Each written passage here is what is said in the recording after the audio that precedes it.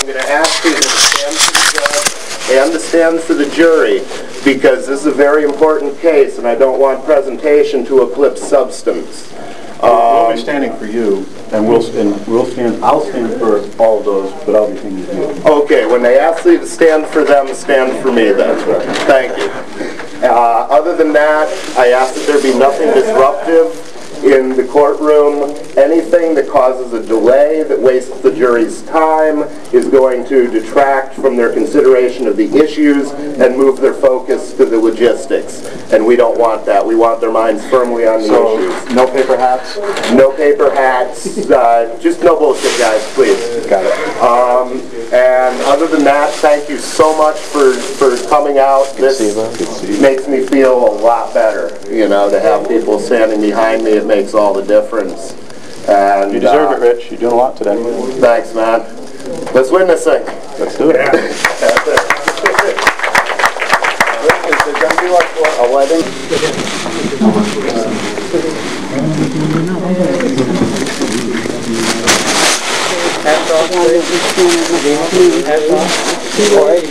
Bring your own with it. Stop being a thug. Please. There's no seats, you're gonna wait outside. outside and wait for somebody, for somebody. Take your hat off, please. Take it off. Could we maybe get the court employees uh, to give up seats in the public? No. Not really fair that uh, Rich asked that court people workers just get do to what take they the need to today. Sure, but she- she's talk, she's not talking to me like a person right now. I- I- I'd be happy to talk to Rich. your hat off. Well, that's a lot nicer way to do it. No, but he's already asked you Sure, once. Tebow's assaulted me before, so I don't really care what Tebow thinks. So he can just do his own thing, but I'm gonna do what I can for Rich. Well, what you can do Okay, is take your hat off. listen, but you don't have to talk to me like I'm a piece of your property, because I'm not. I'm not talking to you like You did, you said, take your head off, take your head off. I'm not a piece of your property. You didn't say please, you didn't inform me that your client had requested that. Those are ways to communicate with two, people. two more seats Excuse me. I was already having a conversation about that. Don't worry about it. You remove your bandana? Alright, well this is like keeping my hair down. It's not really like a hat. You do need to have it removed?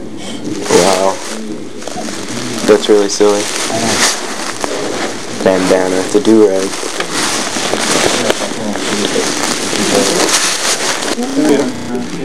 All right, please. Morning, please be seated.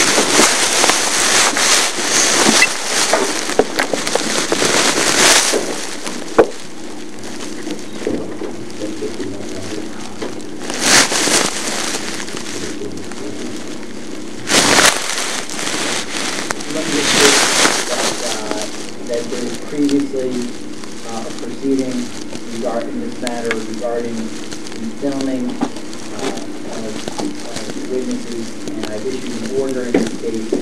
It's my understanding that the only uh, person who has requested court permission to film or uh, video the proceedings is uh, Mr. Freeman from, from Free Team. Uh, And so, to be clear, uh, I issued an order in the event that, that there are police officers serving in an undercover capacity in some way, that, that my order is that would not be photographed or videos, uh, but otherwise the audio portion of of the testimony may be recorded with respect to officers serving only in a surveillance capacity. Uh, Mr. Freeman has indicated that, that it's, it's, uh, my order that people photograph and, uh, video record that testimony as well. Uh, no other members, uh, people who are present for the trial may photograph or video proceedings. And if people have cell phones, they're to be powered off. If anybody is in violation of this order, uh, and cell phone goes off or somebody tries to use it in violation of my order, uh, that that will be confiscated by the, uh, the court officer and there will be sanctions, uh, imposed beyond that, because I consider that to be contempt of court, uh, but, uh,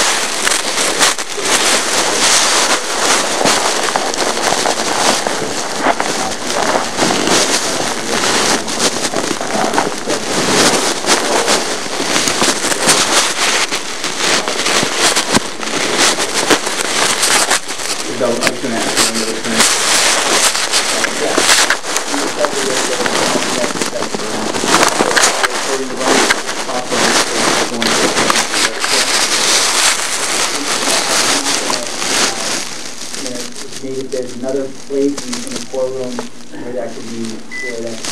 stand behind? Maybe, uh,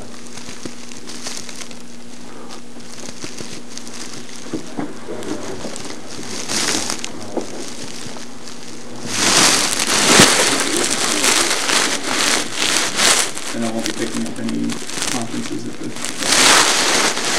Yes, one of the letter, uh, states, I wonder, uh, if, yeah.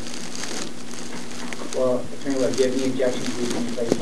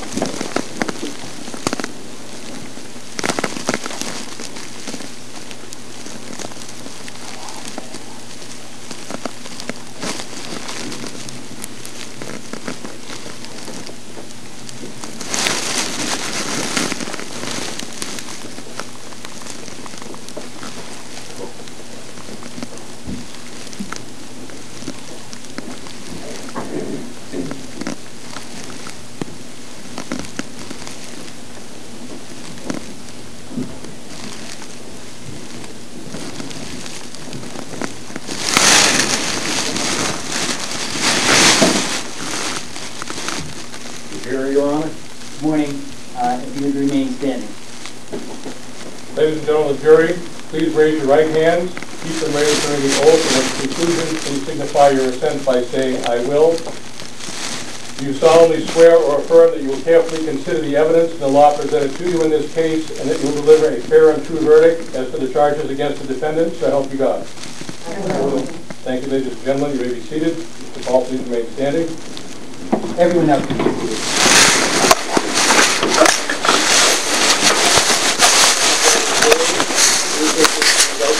2012 PR 131,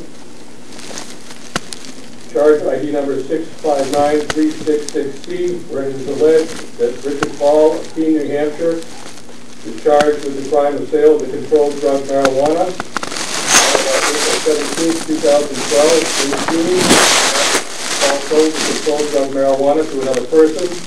The marijuana Paul sold was in a quantity of one ounce or more, including any adulterants or dilutants, and Paul acted knowingly. Please listen to charge ID number 659367C, where it is alleged that Richard Paul of New Hampshire, is charged with the crime of sale of the controlled drug marijuana on or about April 27, 2012, in Keene, in that Paul sold the controlled drug marijuana to another person. The marijuana Paul sold was in a quantity of one ounce or more, including any adulterants or dilutants, and Paul acted knowingly. Please listen to charge ID number 659368C, where it is alleged that Richard Paul of Keene, New Hampshire, is charged with the crime of sale of the substance represented to be the controlled drug LSD on or about April 27, 2012, in Keene, in that Paul sold a substance that he represented to be the controlled drug acid, that is lysergic acid diethylamide, or LSD, to another person, and that Paul acted knowingly. Please is to charge ID 659369C, where it is alleged that Richard Paul of Keene, New Hampshire, charged with the crime of sale of the controlled drug marijuana on or about May 16, 2012, in Keene, and that Paul sold the controlled drug marijuana to another person. The marijuana Paul sold was in a quantity of one ounce or more, including any adulterants or dilutants, and Paul acted knowingly. And please listen to charge ID number 659370C, where it is alleged that Richard Paul of Keene, New Hampshire, is charged with the crime of possession of the controlled drug marijuana with intent to sell or dispense on or about May 30th, 2012, in Keene, New Hampshire, and that Paul possessed the controlled drug marijuana with the intent to sell it. The marijuana Paul possessed with intent to sell it was a quantity of one ounce or more, including any adulterants or dilutants, and Paul acted purposely. Ladies and gentlemen of the jury, the defendant Richard Paul has been arraigned on these indictments and has pleaded not guilty, and of this he places himself before the jury for trial. John Webb of the County Attorney's Office has joined the issue for the state, and you are to say by your verdict that the defendant Richard Paul is guilty of the crimes whereof he stands indicted or not guilty. Listen carefully to the evidence. Mr. Paul, you may be. Members of the jury, shortly you're going to hear opening statements of counsel. Opening statements are a preview of what the attorneys believe the judges will do. Because the state says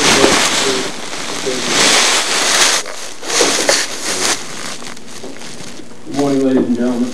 My name, as the judge said, is John Webb. I'm the prosecutor in the case. We're here today serving on the jury in the case of the state versus Richard Paul. As you just heard, Mr. Paul is charged with five crimes. They are alleged to have occurred on four different dates. Let me just run through them real quick again. April 17, 2012, he's charged with the crime of selling the controlled drug marijuana to another person. You will hear in the course of the evidence that that other person was Richard Dupont Jr., who was cooperating with the drug task force in the investigation against the defendant Richard Paul. The amount of marijuana that was sold on April 17, 2012 was more than an ounce. You're going to, uh, he's also charged with sale of controlled drug marijuana on April 27, 2012, also in they're all in Keene. Uh, again, the amount was more than an ounce, and, um, the same confidential informant or sometimes call cooperating the EPF, the drug task force, in the investigation. So that's the person that, uh, the defendant sold the marijuana to. Same date, April two thousand twelve, the next charge is sale of what is represented to be acid or LSD. Um, that took place at the same time as the sale of marijuana, also to Mr. Dupont, with cooperating with Yeah, they also place in the the last char, I mean, the, uh, the next charge is May sixteenth, two thousand twelve, also including this charge alleged to sold marijuana to another person, also more than an ounce. Again, you'll hear from the evidence that this is, uh, he sold marijuana to the cooperating individual, Mr. Uh, finally, on May thirtieth, two thousand twelve, he's alleged to have possessed marijuana with the intent to sell it. Um, and that, that's the kind of felony charge there also, again, more than that. Those are the charges. Uh, we're gonna hear from a number of witnesses for the state. Uh, among those witnesses are the following people. We're gonna hear from who's now within the Hampton State Police. Formerly, he was with the Attorney General Drug Task Force. For the first two dates, you will learn from, uh, then Detective Newton, now Newton. For the first two dates, so April 17, two thousand twelve, April 27, he's the lead, uh, investigator for the DTF. So he will explain to you, uh, the investigation on those first two dates and how, uh, the cooperating individual came to be working for the DTF, cooperating with them. Uh, he will explain to you that, uh, after the sale that happened between the defendant and the cooperating individual, that, uh, cooperating individual, who I would just call CI, we call them CIs, or Mr. Dupont, turned the marijuana over to, uh, Trooper Newton. He took it, he packaged it, you'll hear about that. It gets secured, sent to the state lab. At the state lab, it gets analyzed. Um, we're gonna hear from a couple of lab analysts, of because they were too involved in this case. They analyzed all the drug evidence, and they'll explain to you that the marijuana was in fact marijuana, that it was more than one, um, and that the purported uh, LSD or acid is in fact uh, chemical similar to LSD but not LSD. Um, so after Trooper Newton testifies, you're also going to hear from uh, Jim testimony He took over the investigation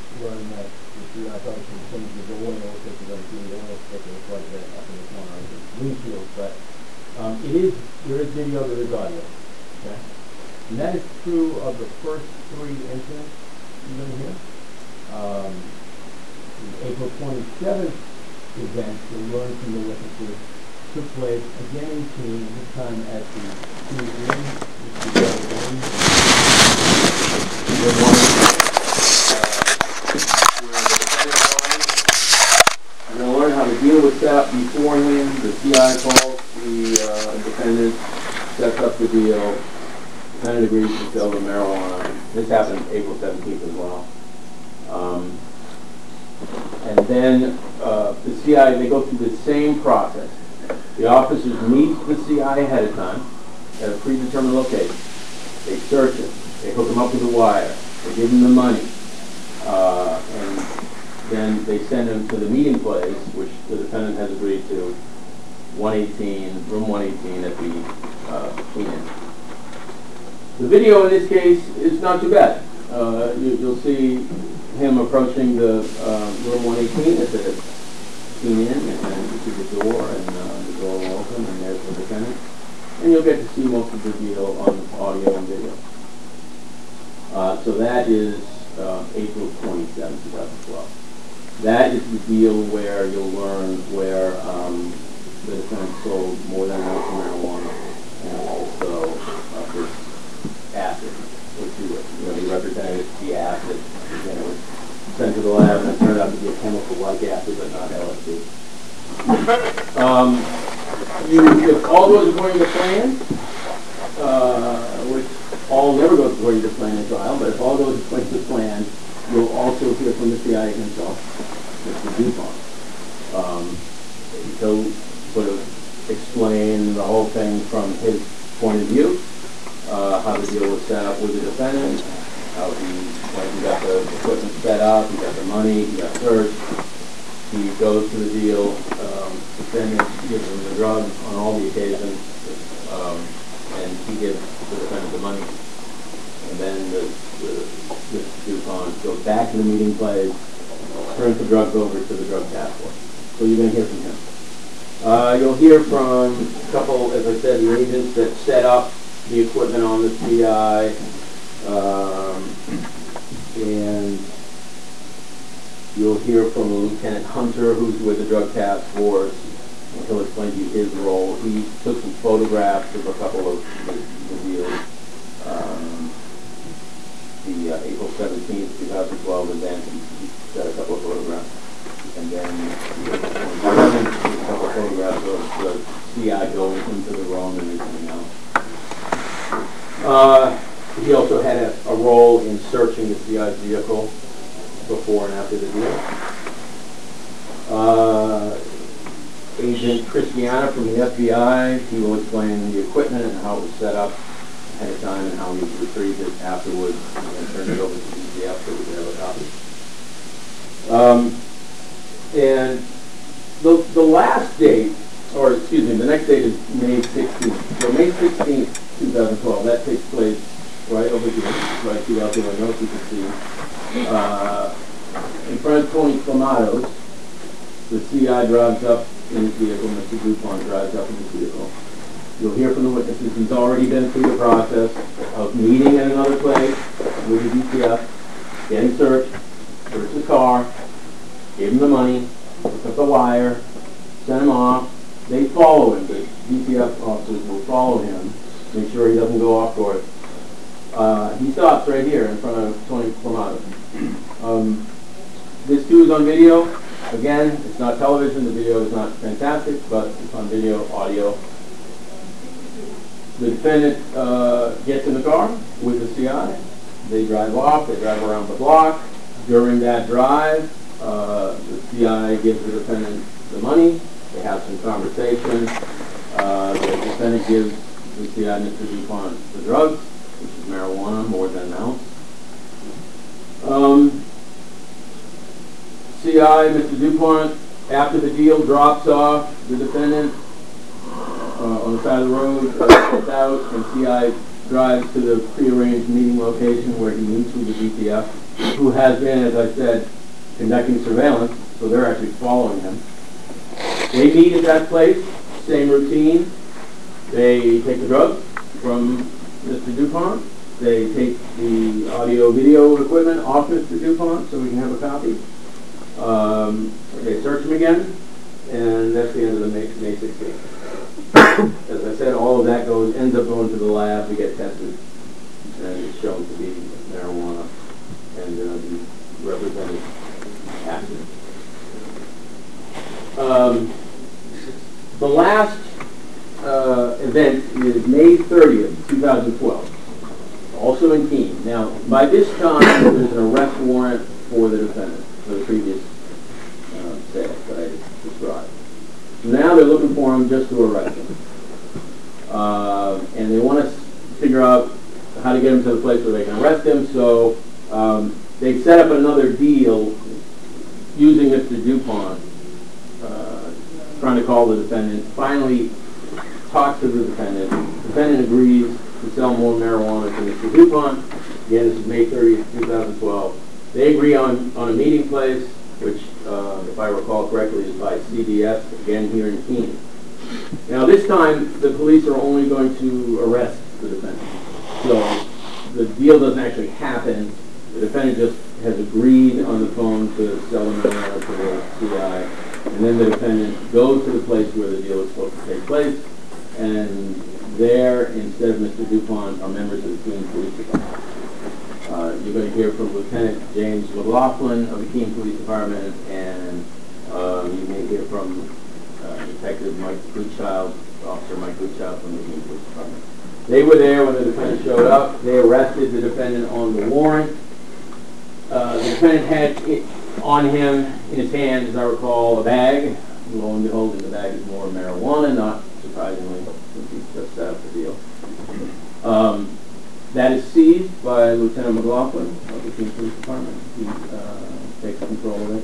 He gives it to Lieutenant Mayers, who I told you about, Jim Mayers from the DTF, who's also involved in this case, conducting surveillance.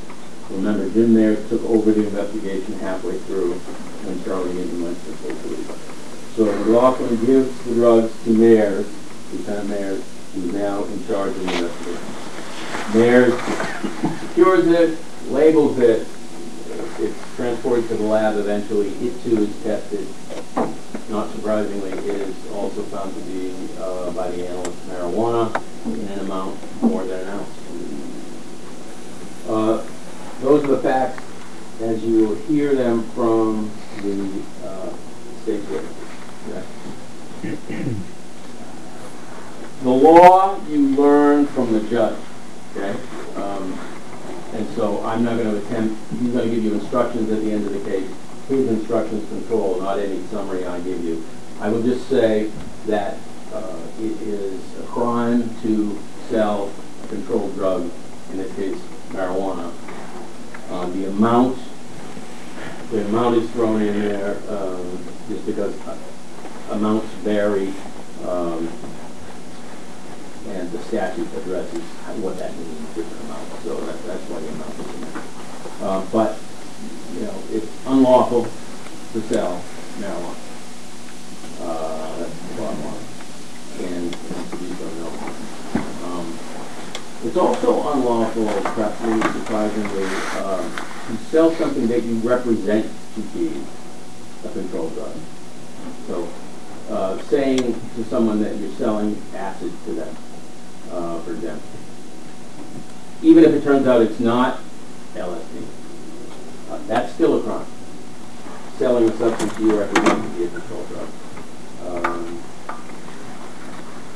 that's the law in a nutshell. There's a lot more to it. It's the state's burden, I will say, to prove the case beyond a reasonable doubt. The defendant has no burden. It's the state's burden. I have to prove, or the state has to prove the entire case, of the crimes beyond a reasonable doubt. And much more to the law, which the judge will explain to you.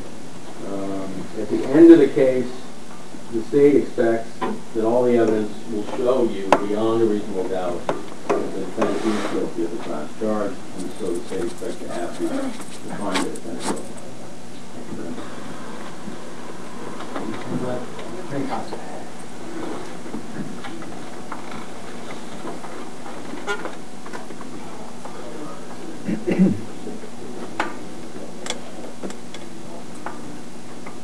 Thank you. Rich Paul did not sell LSD. State uses the words LSD and acid interchangeably. But it's illegal to sell LSD. It's illegal to represent something to do LSD. And you're not going to hear the words LSD come out of Rich Paul's mouth. You didn't present something to be LSD or purported to be LSD or whatever one state wants to characterize it. You're not going to hear any evidence to support that. In that charge, the government does not have the facts to support its case beyond reasonable doubt. We're going to ask you to determine a verdict of not guilty on that case. As jurors, you have the power to judge the facts and decide whether the government has produced enough facts to meet its burden of proof in this case on all charges. That's your job. I usually don't give a lecture when it's up here. But it's important, I think, in this case for you to understand that that's what you need to do. And you have another power. You have the power to judge the law. You have the power to judge the law as it applies to the facts as you hear them in this courtroom. You have the power to judge the law and the facts. Both. And this is an ancient and awesome power that a jury has that is older than this young country that we live in and older than the Constitution of the United States and older than the Constitution of the state of New Hampshire. Hundreds of years old. That is the power that the jury has. Because you have this power, as the clerk said, Mr. Paul puts himself here before you and asks you to listen to the facts and decide whether the law as given to you applies in this case. Applies to all the charges here.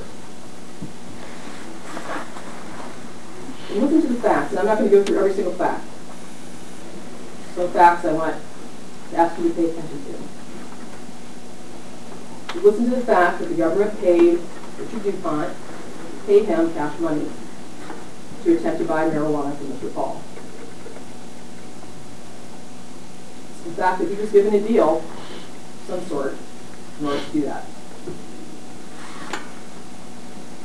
Listen to the fact that each time Richard DuPont attempted to buy something for Mr. Paul, he was wired by the FBI and the joint the FBI, who was a member of the Joint Terrorism Task Force. That's who wired him, not the Drug Task Force, the Joint Terrorism Task Force. Listen to the fact that each time Richard DuPont attempted to buy something for Mr. Paul, he was attended by between 8 and 10 law enforcement officers, including between 3 or 4 FBI agents every single time.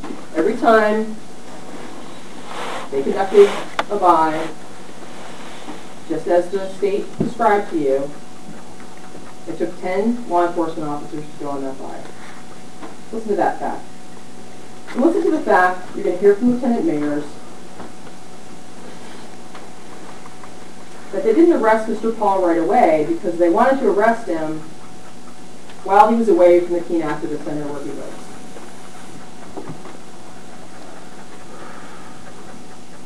And listen to the fact that the FBI went out of its way to record every word of Rich Paul's mouth, to make these videos, to make sure everything was down, except when they were recording their own voices.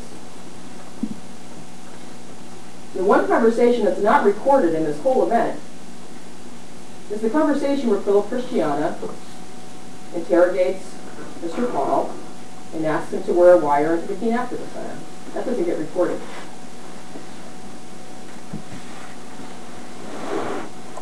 You have the power to judge the facts and the law. You have the power to decide whether the law as you hear it should apply in this case. And you have the power to determine what is a just and fair verdict. And when this trial is over, I'll be up to speak to you again. And I'd be happy, Mr. Paul, I'll ask you to return a just and fair verdict in this case. And that verdict is not guilty. Thank you. State Attorney Paul Christmas. Yes, thank you, Your Honor. State call, Trooper Charles Wolf.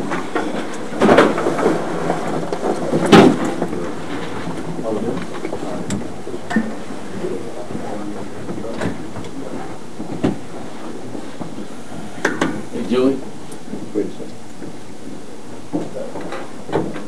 We don't have to wait. Your Honor, are we gonna wait? We'll, we'll go to that.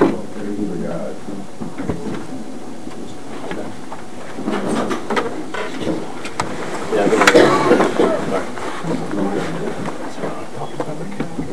That seat is already taken. That seat is already taken. Oh, is it?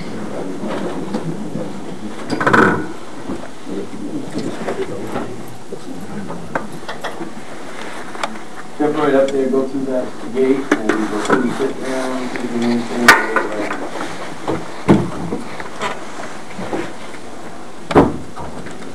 You swear or affirm the testimony you're about to give will be the truth, the whole truth, and nothing but the truth under the penalty contained in perjury. I do.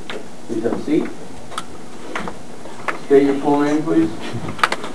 My name is Charles Newton, N-E-W-T-O-N.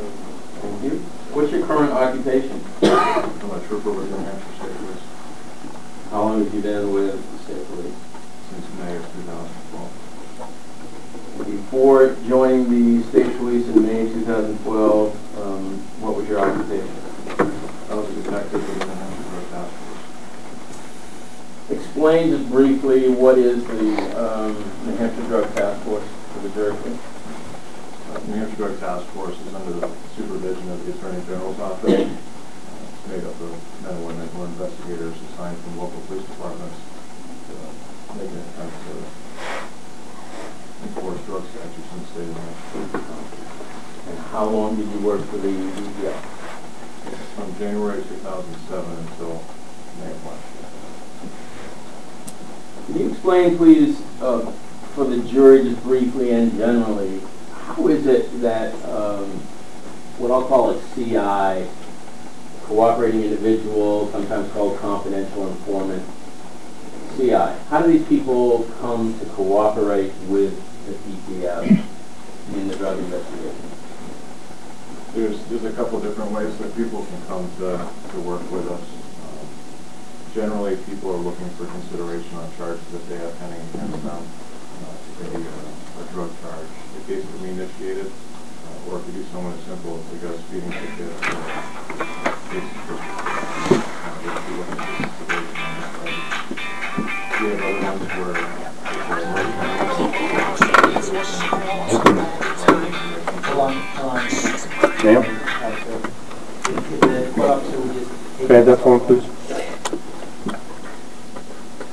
It was off. It turned Ma'am? on in my pocket. Can I have the You can hand phone? that to the court officer. Is he gonna give it back? Ma'am, it was very clear that people would have their cell phones off. Yes, I Hand had that to it. the court officer I now. had it off. Yes, I did. We'll address that.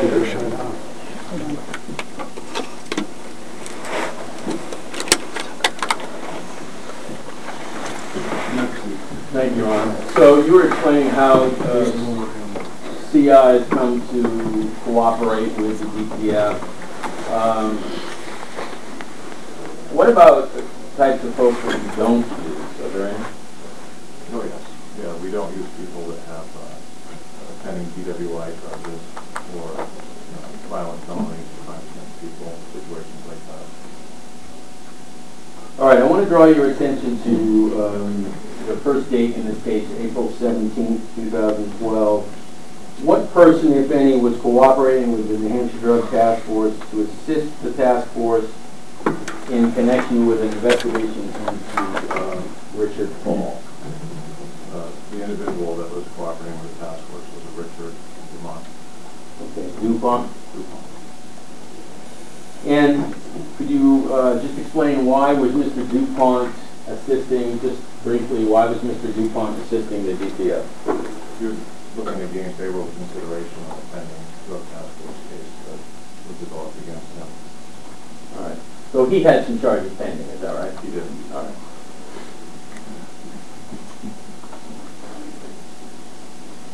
Now, with respect to April 17, 2012, um, what, if any, pre-authorization did you obtain prior to recording the uh, drug transaction on April 17, 2012? We obtained the one-party authorization through the Attorney General's office. Just briefly explain, um, what does that mean? Why do you have to do that? We have to do that in the state of New Hampshire. um, When you want to record someone without them knowing, uh, both parties have to be made aware of the situation. Uh, In our case, we get what's called a one-party authorization, where we, there's certain crimes in the state of New Hampshire that if you get permission to record the conversation, then it's authorized by the state of New Hampshire, either through the county attorney or the attorney general's office. And in this case, from, uh, from where did you get the authorization? We get it through the attorney general's office. All right.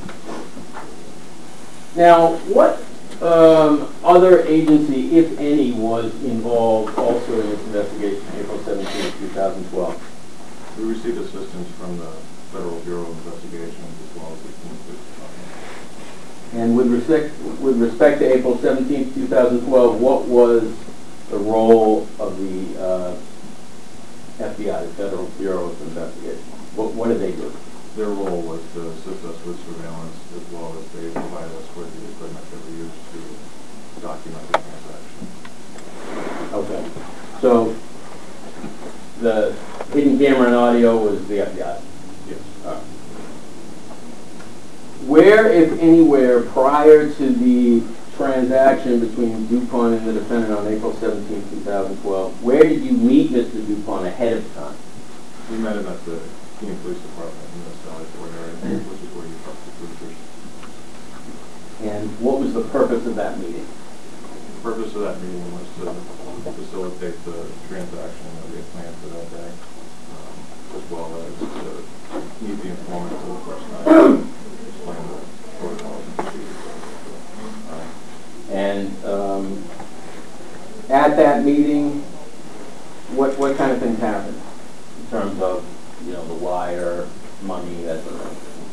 What we do before a, a control purchase or an employment purchase, we have monies that we use. Um, If the person has a vehicle, uh, their vehicle is searched, we help the informant with either a recording device, audio or visual, and basically we just come up with a plan as far as an operational plan uh, on our side of it for that day. All right. And on this particular occasion, April 17, 2012, was he hooked up with a wire by the FBI? He was, And the, and the video? Was he given money for the transaction? he was, All right. And was his vehicle searched? he was. Um, what was the plan?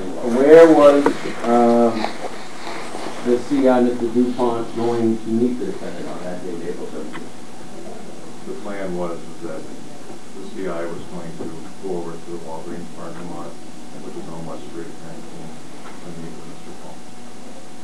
And um, as he was doing that, when he was doing that, was he by himself in the car, other people in his car, or what? He was alone in his vehicle. All right, so he drove his vehicle to Walgreens. He's already hooked up with the wire, Yes, sir. and he's got the money. Yes, sir. Been searched, the vehicle's been searched, and off he goes. What are you all doing while he's driving to Walgreens? We, when we do a buy, uh, we follow the person, the informant, or the undercover, depending on who's doing the buy, from the point of where we meeting initially to the point of the transaction.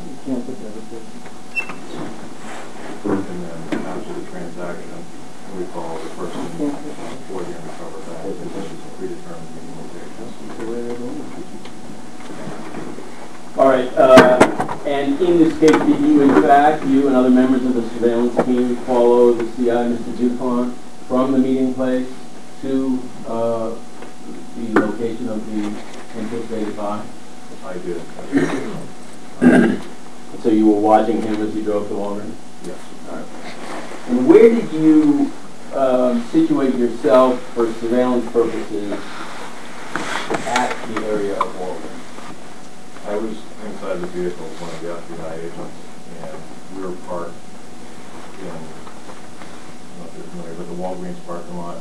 Um, You have the Pizza Pie, and you have Walgreens. I was over more so in the front where the old Sears was, out closer to West Street, watching the, that side of it. Okay. So, did you have eyes on DuPont and his car? Yes. And who, if anyone, came up to DuPont's car and made contact with Mr. DuPont? Mr. Paul. All right. And um, this person, there, you- Objection, uh,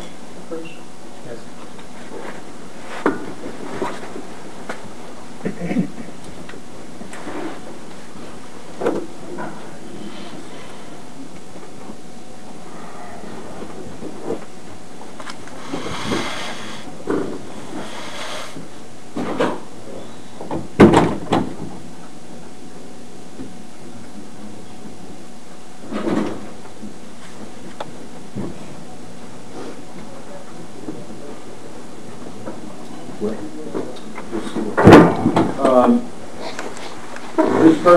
approached the vehicle, did you recognize this person? I did. Uh, Without going into detail, how was it that you were able to recognize him?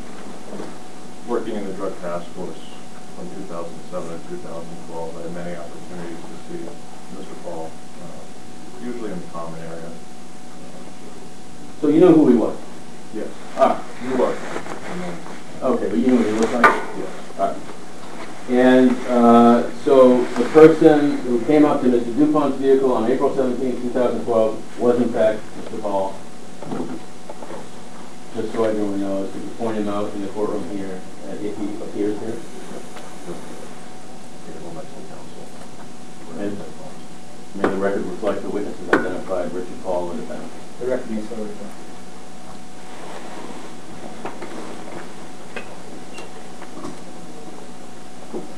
The defendant gets to the, Mr. DuPont's car, makes contact, what, what does he do? Does he stand outside the car, get in the car, what does he do? Get into the vehicle, Where in the vehicle? the passenger side. And then what did they, they do? Yep. Uh, The informant and Mr. Paul then left the parking lot and went out of my view over to the Irving station. Okay. Uh, so they drove a short distance out of your view. Um, soon after that, what happened? I was made aware by other members of the task force uh, who were doing the surveillance uh, that the- Mr. Paul had exited the informant's vehicle. Okay, and having that information, um, where did you go? We left our position and uh, picked up the informant as he was leaving the parking lot, and we followed him to the predetermined. Was he still in his car? You mean he's driving? Yes, sir. All right. And you followed him back to a predetermined meeting place? We did. All right. Watching him the whole time they're driving? Yes, sir. All right. Was that a key in that predetermined meeting place? It was over on Optical Ave. I'm not sure of the business name, but on Optical. All right. And that had been prearranged? Yes, sir. During that meeting, you, the CI gets there in his car, you get there in your surveillance vehicle, other officers, what takes place at that meeting?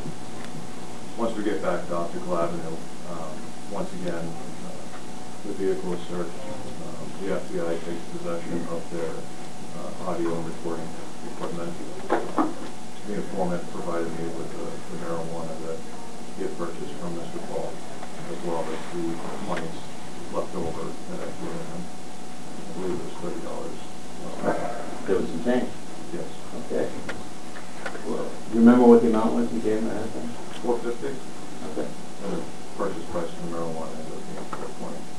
All right. So he gave you the change. Mr. DuPont gave you the marijuana, did you say? All right. So now you've got the marijuana, the, the FBI, did they get the recording device off of Mr. DuPont? Did you ultimately get a copy of that from the FBI? All right. What did you do with the marijuana that, uh, or the apparent marijuana that, uh, Mr. DuPont, the CI gave to you on that day, April seventeenth?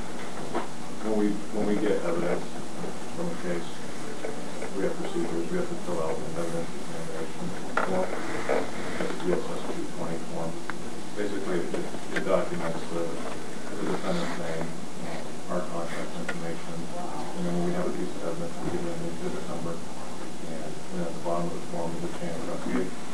And basically, the chain of custody just documents who has possession of the evidence, and ultimately, all evidence is packaged, logged, and transferred down to the state forensic laboratory for analysis.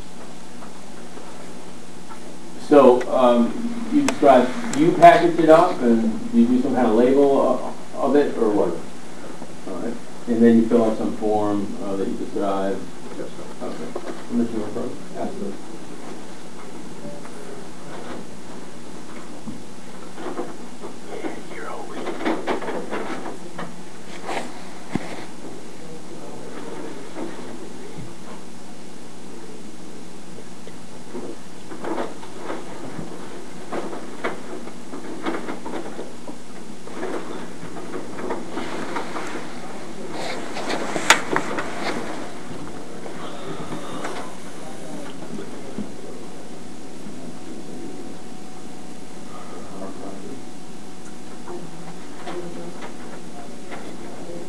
All right, Your Honor, I'm asking, I've got a state's exhibit, um, which is pre-marked 2B. I'd like it to be marked 2B for identification purposes. If there's no objection, this is the, Frank Costa. No, no objection. Just right here right now. Up and out.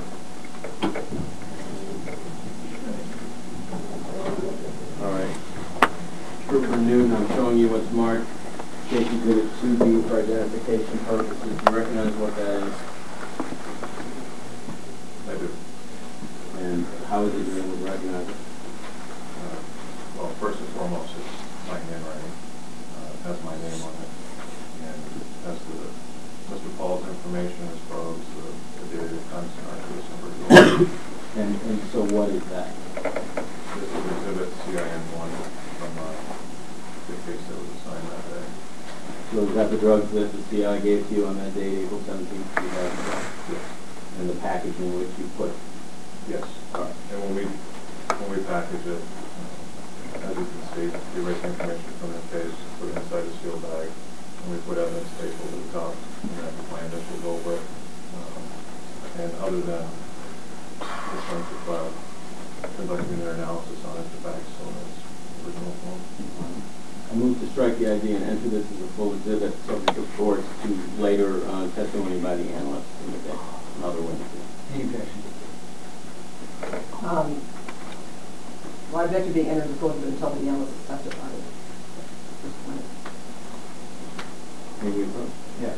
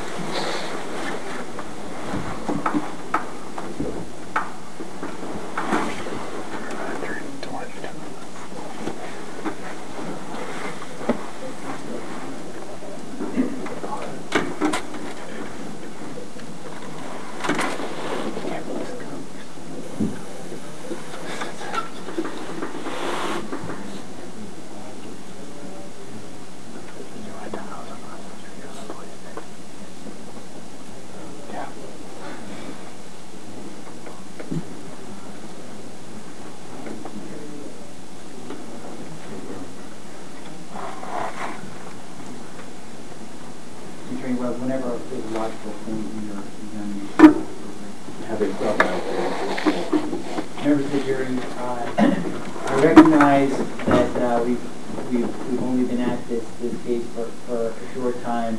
A- As you may know, uh, there's another jury uh, deliberating in a separate matter, uh, so kind of multitasking today. Uh, uh, So I need to address some issues that have arisen in that matter. uh, And, and so in light of that, uh, uh, we're going to take our, our lunch break at this, at this time. Uh, I'm going to give you uh, a- a- an instruction. Because the evidence in the case has just started, uh, you're not to discuss the case among yourselves or with anyone else, and not to do any research or analysis uh, outside of uh, what's taking place in the course of this trial, because your verdict must be based on solely on the evidence presented during the course of the trial and the law as I explained at the very end. So, so you're not to talk about the case among yourselves or with anyone else until you have the case and are beginning your deliberations. And you're not to go on the internet or do any research or analysis independent of what takes place in this trial on your own. We'll take, uh, again, I recognize we've only been here for a short time, but we will take our lunch recess now and we'll, we'll resume testimony at 1:30. Uh, so please, if you could try to be back here a little bit before 1:30, uh, we'll, we'll, our process will be, we'll take at least one break during the afternoon. We'll probably stop somewhere, uh, between 4 and 4:30 this afternoon. Uh, and then, uh, tomorrow, we'll take at least one break in the morning, at least one break in, in the afternoon in addition to the lunch break. We'll try to start as close to 9 o'clock as possible, just for your planning purposes. And we'll see you back here at 1:30. All right.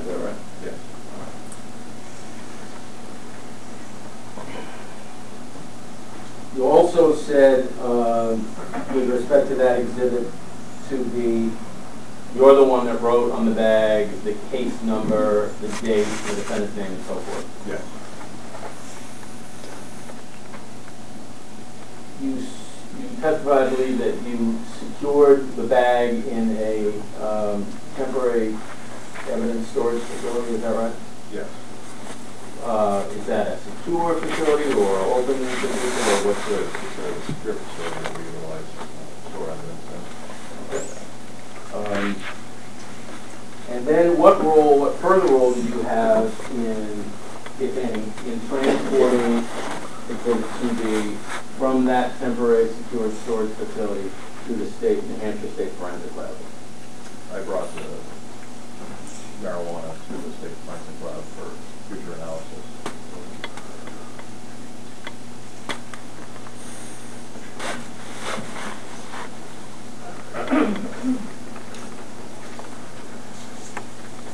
Before 17. Copy that again this morning. Um, Your Honor, I have here uh, one-page document that's marked 2A. I'd like to have it marked as 2A for identification purposes.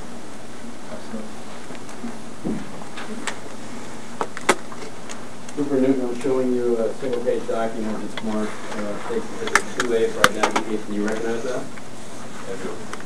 What is it? It's the chain of custody to go along with the marijuana that was purchased that night. All right. And um, I believe previously you testified about filling out a form when the evidence is transported. Is that the form you were talking about? It is. It is the form, and And is that an accurate copy of the form that you used to transport this evidence? yes, It has some additions for uh, recent transport at the bottom on the chain of custody, is that right? yes, sir. But it is the form that you filled out? Yes. Permission to uh, strike the ID and enter this as a full exhibit?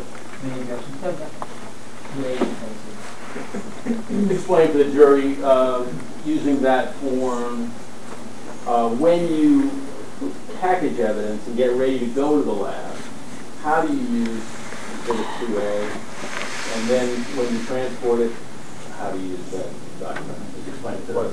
what we do is, um, we fill out this form, it basically has the town where we obtain the evidence from, uh, a case number, which is specific to an incident that we're investigating, um, and it has the, the person, the subject, suspect, uh, defendant Boxer, who we bought the evidence from, or who we obtained it from, and just the contact information, the date that we purchased it. And what we do is, we label it with an exhibit number, and in this instance, it's CIN the quantity was one, because it's just one bag. And I put down suspected marijuana, and I asked them to check to confirm that it's marijuana, THC. And then down below, like I mentioned earlier, we have a chain of custody. Whoever possesses the evidence, they go down in the chain of custody, whoever agrees that they have the evidence. And on this instance, it went from uh, suspect one, who is Mr. Paul, to the informant course to myself, and then from myself to our secure evidence location.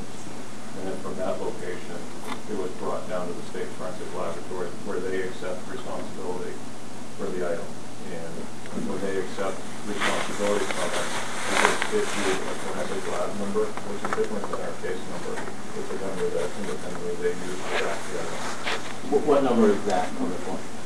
It was FL 12-26 exit, which on the piece of evidence here, you'll see that they used my exhibit number with their number, FL 122666. And then the rest of the process will probably be better explained by the forensic lab person. But in summary, this is the evidence and it goes with the evidence sheet. Okay. So you uh, testified that you brought that to the state lab and you documented that on Exhibit 2A, is that correct? Correct. And that was when? It was brought to the forensic lab on May second at approximately oh eight thirty in the morning. All right, and that's 2012, last year. Um, You leave at the lab the bag with the evidence and the form as well, copy of the form? Yes.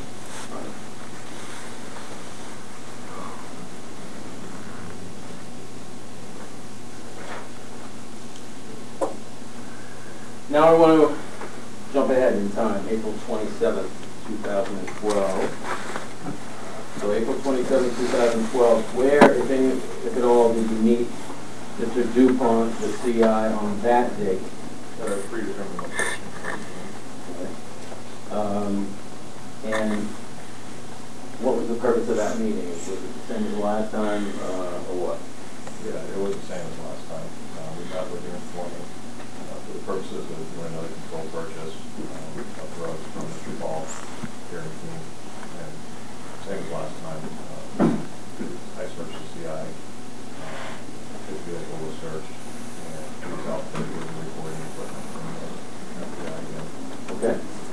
And um, after, was he given money for the transaction? Yes, sir. All right. How much was it this time? $450. He's given the money. He's hooked up with the wire, the video by the FBI. Um, vehicle search. He searched. He said. Then what happened? Uh, we basically put the, the deal into motion. Um, let, me, let me stop you there and ask you this. Prior to putting the deal in motion, as with last time, what any pre-authorization did you obtain in order to record? Obtained the uh, authorization.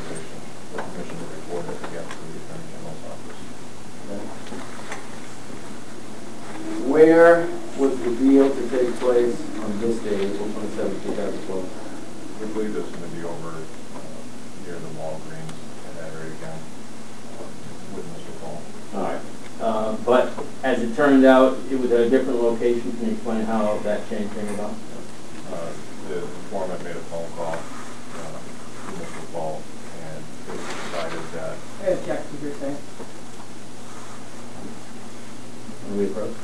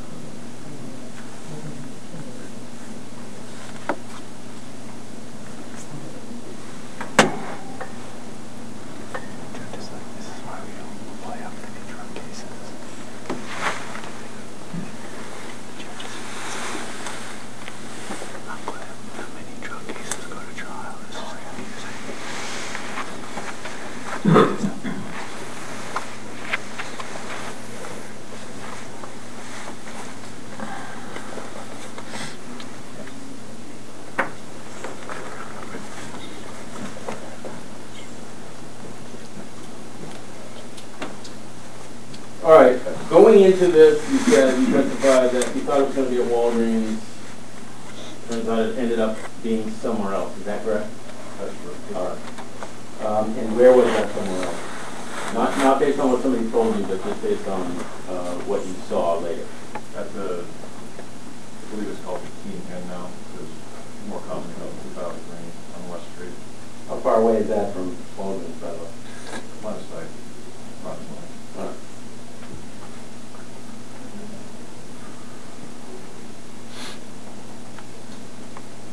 After you uh, let the CI go from that pre-arranged meeting place with Jeff Wire hookup and the money and the search, is it, is- was it the same way it was last time? Was he driving his own vehicle? He was, the as a matter of policy, we follow the person from the predetermined meeting location to the point of the deal.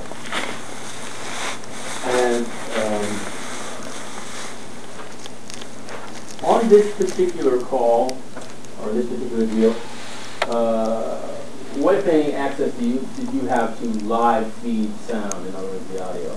I had the ability on, on this purchase to actually listen to the, the wire that the informant was wearing, uh, live time.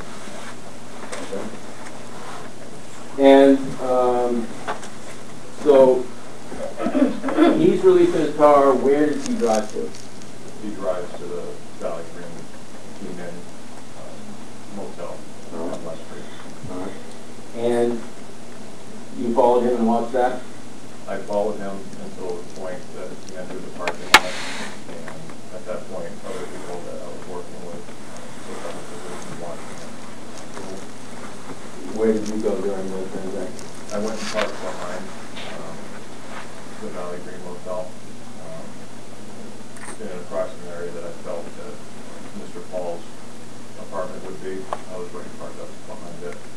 The reason we did that is I just wanted to have a a more clear uh, reception of the light transmitter. Um, So you're out of sight. What did you hear over the wire? as-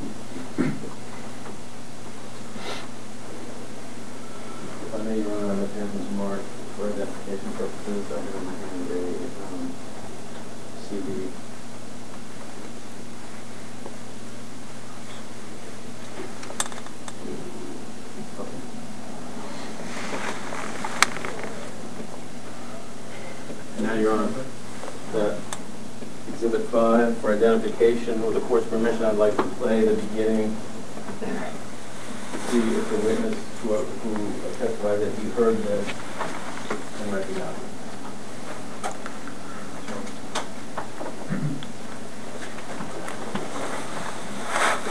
Is it marked on the part of the CD? with- It's marked up a little bit.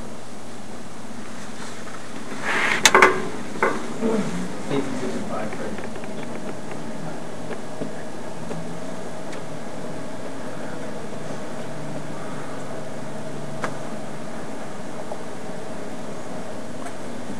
Now, I apologize to the court in advance, the technology that we have is, shall we say, archaic and slow.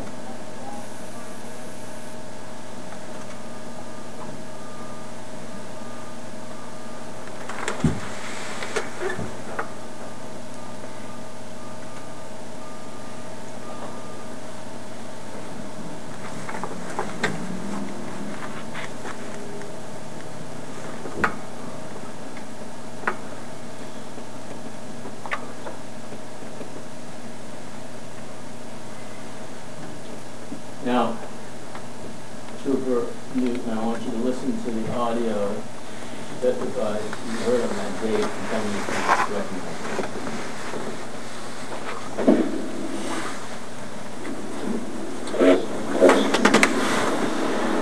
it. This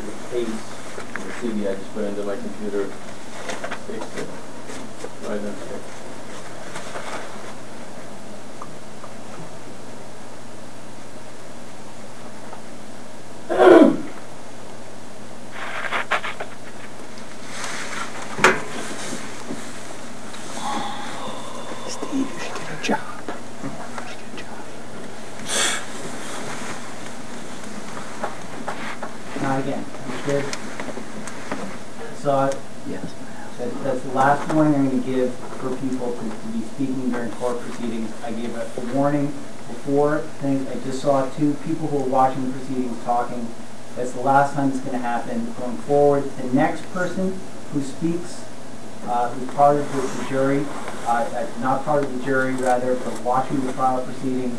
If you speak while proceedings are going on, you will be ordered to be removed from the courtroom and you will not be able to re-enter the courtroom during these proceedings.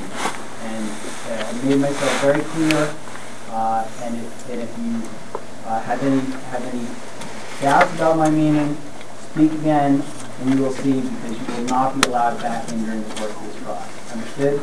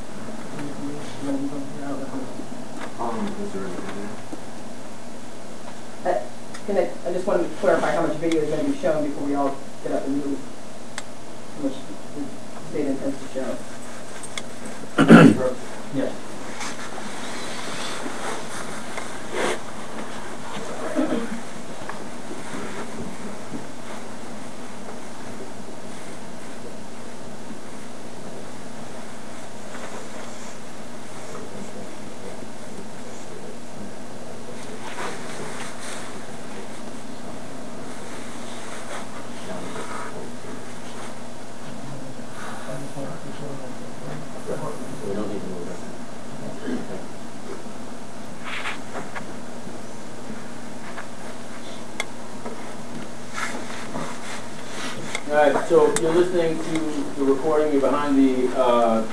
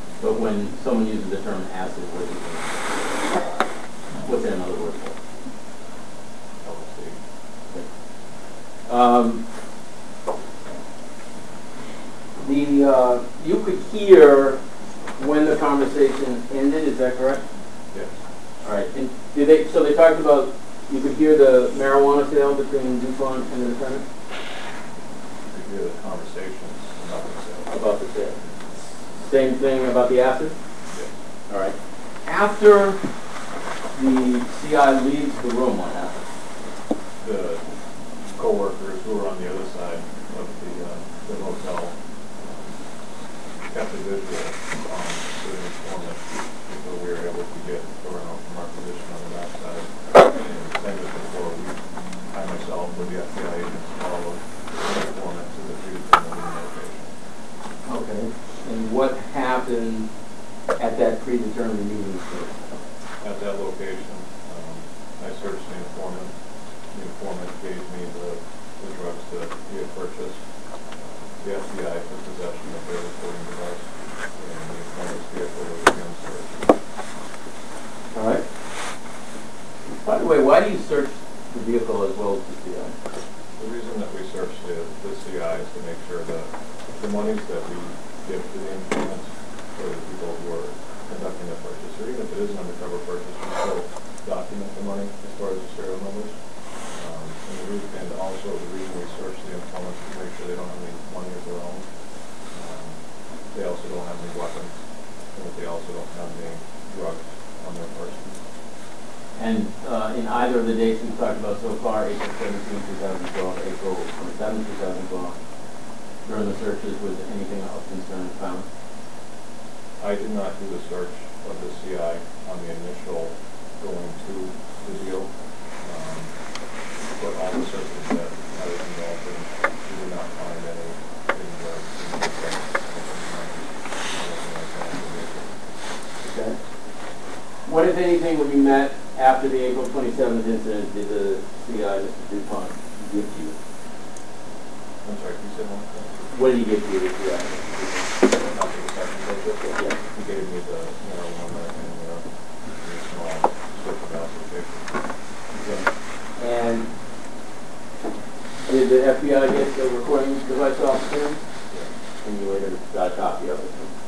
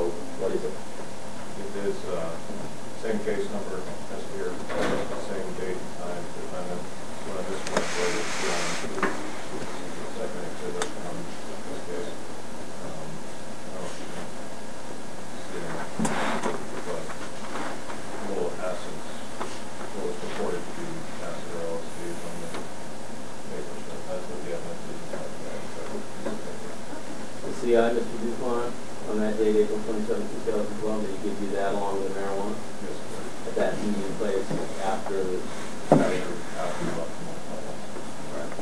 Permission to strike the ID on this exhibit and then enter it as a full exhibit. Exhibit three B.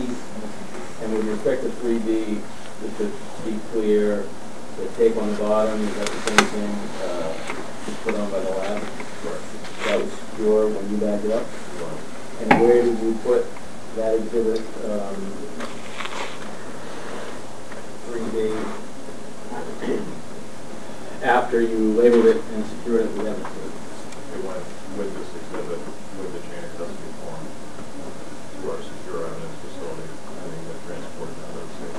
All right, you twice referenced the evidence form showing you it's not three, under the state three A for identification purposes. What is it? This is the DSSP training evidence form, same in the other case, as with this one.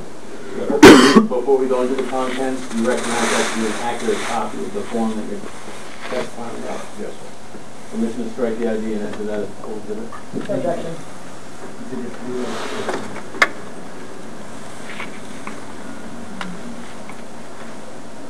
We were discussing three A, um, explaining it to the jury, go ahead and continue, just summarize its contents. Uh, Same as the, the form before, the difference is, uh, the case number for the date on the twenty-seventh, and the lab number on this one is FL twelve two six six seven. Um, As you can see on, on these guys, it says the matching case numbers that correspond with the form. And the chain of custody goes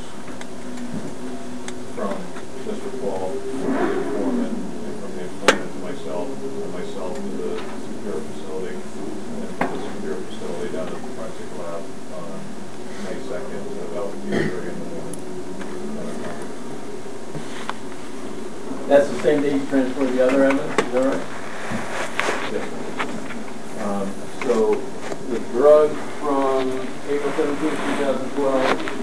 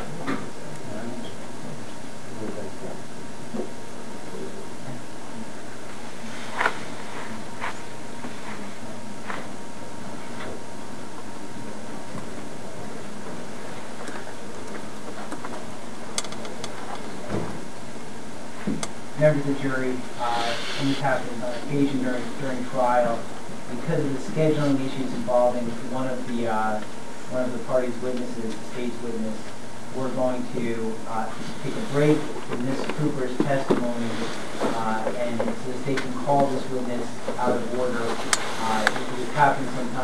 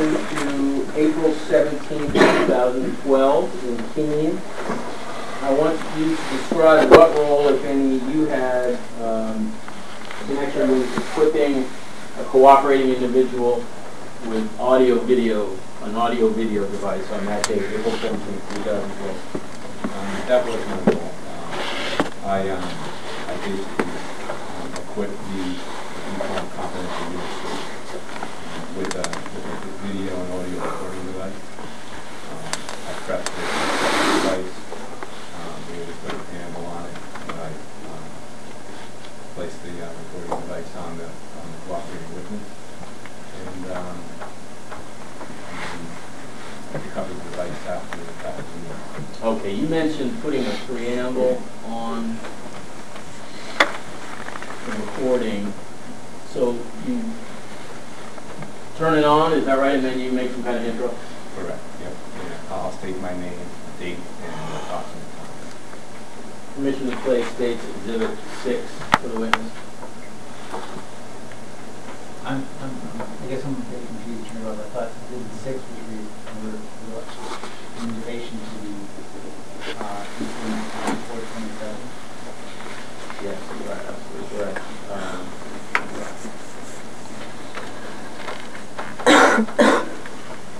Let's take them out of order.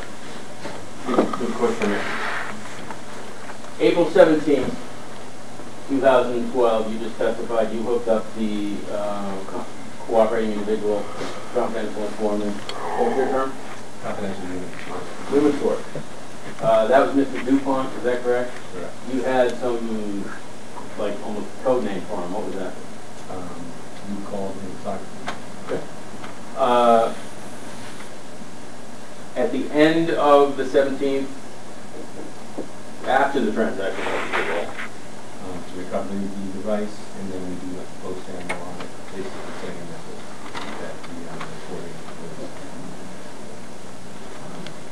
Meeting Christiana, if you can just raise your voice, uh, your, your voice is present, the, the microphone, uh, does not amplify, it just records the sound, uh, so, and, and I think that Attorney Costa, defense counsel is having a hard time hearing you. Your voice was trailing off, if you just. absolutely. All right. You recovered, after the transaction, recovered the equipment from Mr. Dupont, is that correct? Correct. And that was on April 17th, 2012. Uh, What were you doing during the transaction? Um, during the transaction, um, I was part of, basically part of the surveillance team, um, which which assisted in, um, witnessing the, the transaction itself. Um, so I did witness, um, um, part of that transaction, um, part of that meeting, and events after that meeting. As part of my duty. All right, so for, with respect to April 17th, 2012, you say you witnessed part of the transaction. Um, Did you see who Mr. Dupont met with? I did. Uh, You able to identify that person? I am. Is he in the courtroom today? He is. You put him out for the jury in the court. May Richard Paul.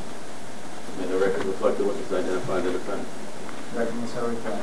Just uh, describe what you saw occur between Mr. Dupont, Socrates, and the defendant. Um, I saw Mr. Paul approach Mr. Dupont's vehicle in the Walgreens. Um, him enter the vehicle. Um, I saw the vehicle move from the Walgreens down West Street uh, to a gas station. Um, and then I saw him, you know, later saw Mr. Paul cross West Street um, and head towards the Keene Inn On foot or in a car? on foot. We uh, are going to come back to the recording. We're going to jump ahead to April 27, 2012. Um, What was your role, if any, in Keene on that day with respect to Mr. Paul? It was very similar. Um, I basically um, met with Mr. DuPont prior to place the recording device on his person. After doing the preamble, sent him on his way. Um, Then we, um, surveillance day also. You know, trying to cover as much of the transaction. Um, On that day, Mr. DuPont had a transmitter on. So I was able to hear from my vehicle the the entire meeting, most of the meeting, the vast majority of it. So I positioned myself, um, we have positioned ourselves in my vehicle um, behind the Keene Inn. Is that where, is that where the trans- transaction took place? You position yourself behind the Keene Inn and you listen to most of the, uh, or you listen to the entire transaction, you said, all right? We were able to listen to that majority of some of it was cut out of the radio, but that of it was able to be, to be heard. Thank you. Now, the state asks permission to play exhibit six for the witness. Any objection? No. It's the same place. All right, let me just do this is uh, Special Agent Phil Christiana. Today's date is April 27th, 2012. It's approximately 2:35 PM. CHS Socrates is going to conduct a consensual um, recording with Rich Paul. Um, This is related to investigation 281 RBS 104582. States Exhibit six, you recognize that? I do. That, what you're talking about, preamble, that's your voice? Correct. And you listened to this entire thing, right? I have. Uh, not only since that date, but Objection, Your Honor. I- I- There's been a lot of reading going on. I haven't objected, but I think you should be asking him. Sustained. when, when did you listen to the recording? Most recently this month. And you, you, um, testified you listened on that date? Correct. Um, well, yes. As I was able to hear that on that, on that, as it. Correct. When you took the recording device off Mr. DuPont after the transaction, who, if at all, did you give a, a copy of that recording to? Um, I gave it to the Attorney General's, um, task force. Thank you. Permission to continue playing the recording?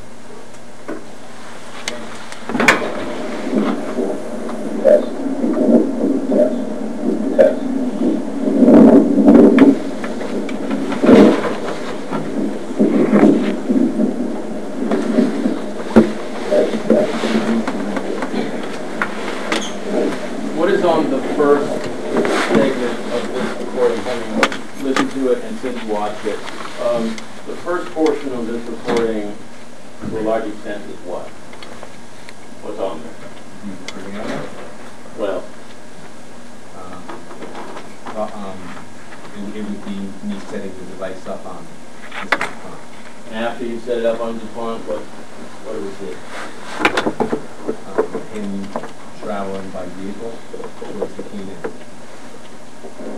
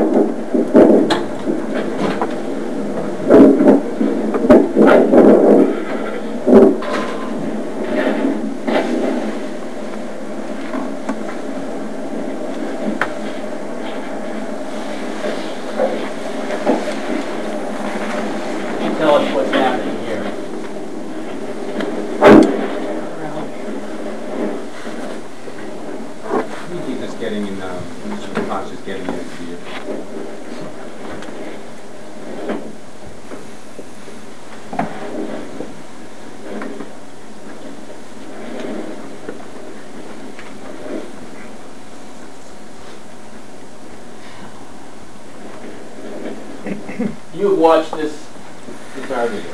I have. All right. Uh, did Mr. DuPont stray off anywhere? Objection.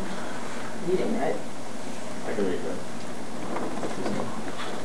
You testified about uh, surveillance being conducted. Where if at all did Mr. DuPont go that was off course? Objection, again, leading. asking the same question in a different way. It's still a leading question. Not where. Part of the question is sustained, you can rephrase. Where did Mr. Dupont go from this location until he arrived somewhere? He traveled from that location directly to the Keene Inn And when, if at all, did he get out of his car during that trip? after he, he arrived at the Keene Inn. You had him under surveillance that whole trip? He was under surveillance. There were numerous units out I'm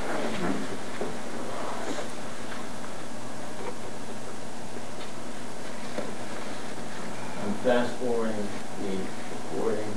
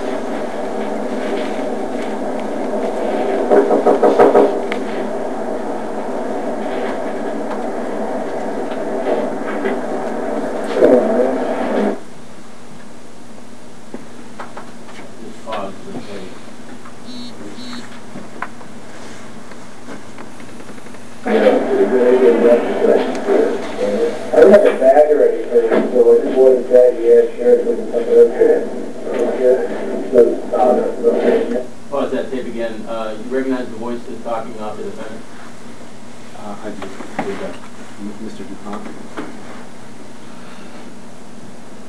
I gotta work. No biggie on the half down. I be able to hold it anyway. Plus my buddy Ian, and I'm not even having no money for it the last second, so. But, um, I think another friend of mine, he, uh, he usually pick it up. He like goes to at least like a pound or two a week. So, um, he's paying healthy gas for it, though, like almost three grand or something he's so. What would you be charging? Yeah. Well, what would you be charging per pound? Ah, close to that, or? Oh, yeah, hopefully like, uh, fourteen, fifteen hundred. Oh, no shit. Awesome, well, yeah, I'll do about half that. Uh, I'll figure it out, though, what, what you know first thing. Okay. Oh, really? Do you um, have any of that accident you were talking about? As a matter of fact, I do. Awesome. Um, what, ten hit, I'm guessing? Uh, yeah, ten hit, or I'll do a ten strip for eight. Oh, that's good. Um, I don't quite have enough for a tank, one got like an extra twenty bucks on me. Um, can I take two bits there? I'll see how it is.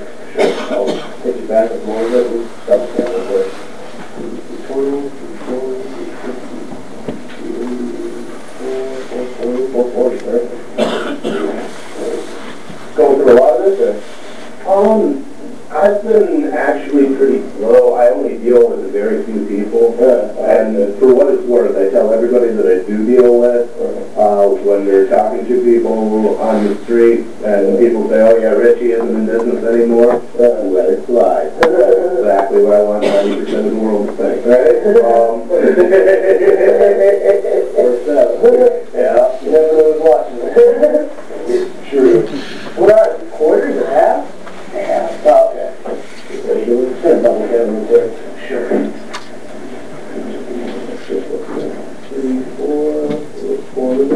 Awesome, thank you. How long you stay here for? Oh, I don't know.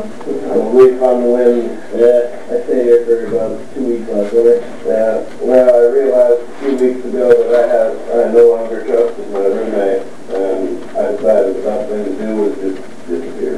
So That's good. Yeah, I know. Christina, she's been around Keene for a while, kind of a, yeah. She's, uh, she a kid? Uh, she has a couple kids, but she was kind of Billy or one uh, she had a couple kids, but she's not in custody of. So, uh, re- reports on the acid. Uh, reports on the acid are good. I actually recommend three days. Yeah. Yeah, so it's, it's good, but mediocre good, you know. Uh, uh, they do that nowadays, just, uh, I mean, it's like, it's, you know, it's just not the same, like back in the day, you get one hit and it's helping with sincerity, so. I started doing it in seventy-one. Yeah, exactly. It's nothing like it used to be. Yeah. I remember You have to take like taking twenty it days. in the bathtub, Yeah. you know, but then it was moving my birthplace, my for a while. Right? Gotta be careful. Plus, yeah, I I mean. love that. I don't care, I love that. Oh, that's great. I hadn't seen it for a while. You know what, I haven't been for a long time, I remember that one. Oh, yeah. I haven't been up here, and I've been all over. See, I haven't seen Mescaline since the twentieth century, but I know a guy who's trying to make some. Really, Or, well, it really, you don't synthesize it, you extract it from the plant. Uh, you get a hold of some things. oh, yeah. Mescaline rock. Uh, I to remember buying it at that in high school, you know, it was fun. And my problem with mescaline though is I, I used to do mescaline every once in a while I do it and I start breaking all these fucking houses. I would like the telephone. I, I got it before. I got that it. Is the, uh? It's more like a close mushroom. Yeah,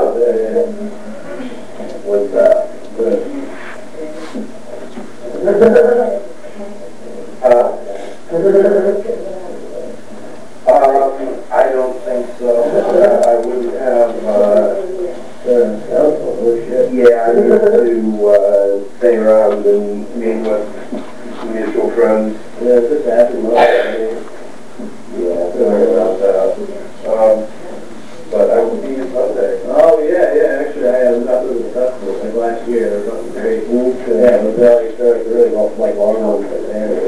Uh, I don't know what in mushrooms, it's what it's. Yeah.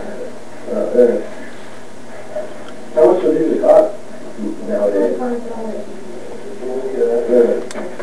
Well, it would, if you wanted, if you found something in that area on Craigslist, I'd, I'd, you know, that's just a regular dollar, definitely gets some good weeds. So if it's a combination of camping gear for fifty bucks, then I would say drop on it, jump on it, and, uh, you know, it'll pay for itself in two, two nights a year.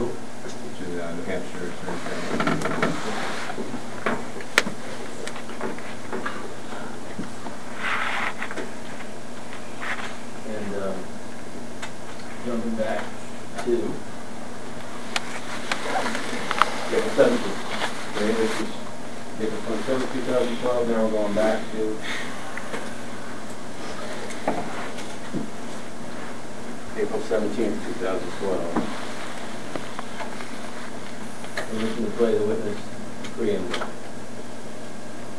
Any objection? Which one is this? April 17th. No, no objection.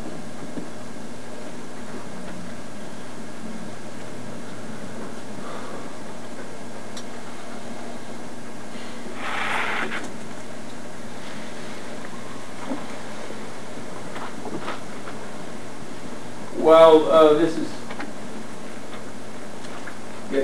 play, um, what opportunity do you have to watch this whole recording? Um, I've watched it several times.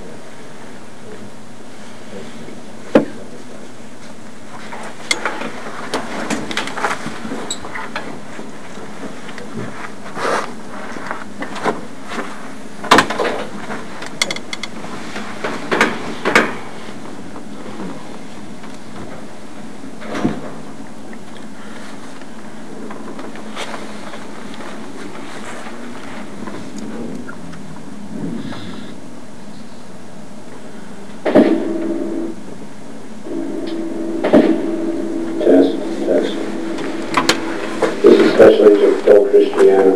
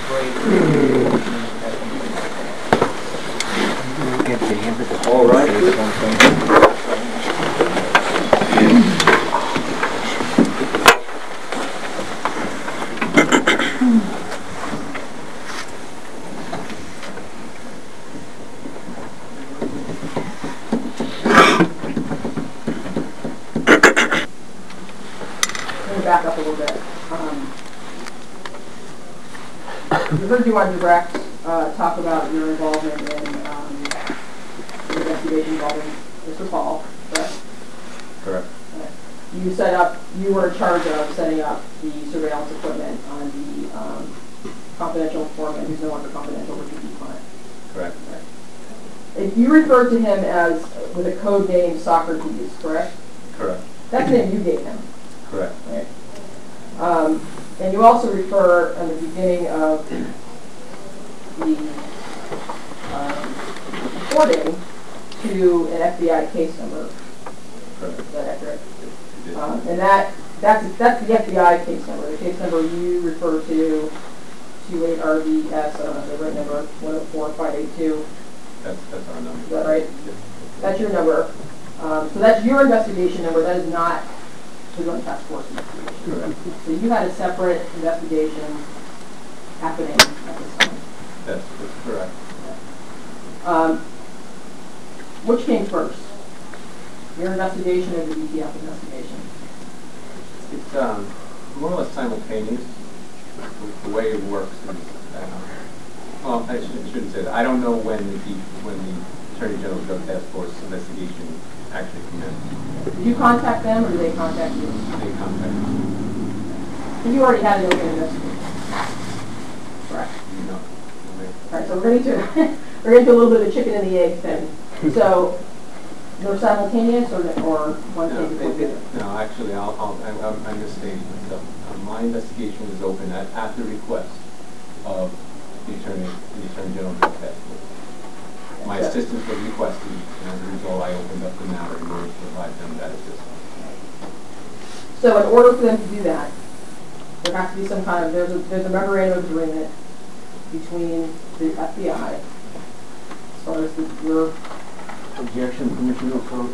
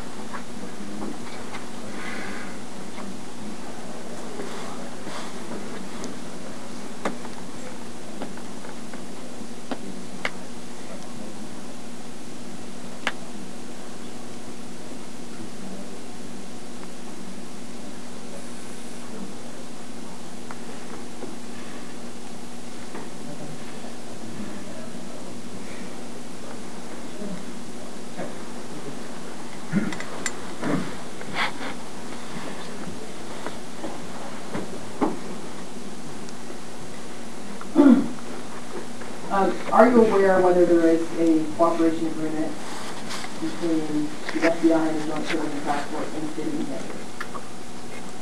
I am aware that there is an agreement between the FBI and the New Hampshire State Police. Okay, so the New Hampshire State Police as an agency of the state of New Hampshire, there is an agreement. And is that uh, agreement entitled something like cooperation agreement or memorandum of agreement? I believe it's an MOU. MO, memorandum of understanding. Are you familiar with that agreement? Not in detail. Well, you work for this, for this agency, correct? And you participated in a joint investigation with the state agency. Is that right? That's correct. And the- One has nothing to do with the other. Right. Um, The MOU is between us and the state police is for them to to participate on our task force. This investigation had nothing to do with them. This was, I can elaborate on that. This, this is an extra duty. When I get a request from a state or local agency, one of my duties is to provide uh, local and state agencies with investigative assistance. And that's what I did in this matter. I was requested assistance, and I provided it. It had nothing to do with joint terrorism force. Who requested it? New Hampshire uh, Attorney General Doug. Who from the drug task force requested your services? Um, I can't name one person. There are several people that, I mean, there's certainly one person that I recall discussing it with was um, Officer Newton. Right, so at some point, in time, officer would be called, called on the phone, is that how it happened? No, this is in person. Okay, so